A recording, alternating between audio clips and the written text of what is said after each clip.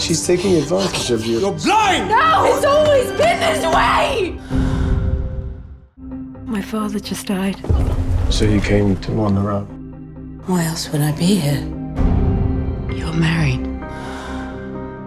And your wife would be distracted. This is my house we're talking about. I keep it in order.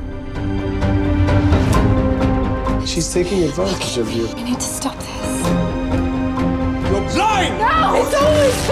You're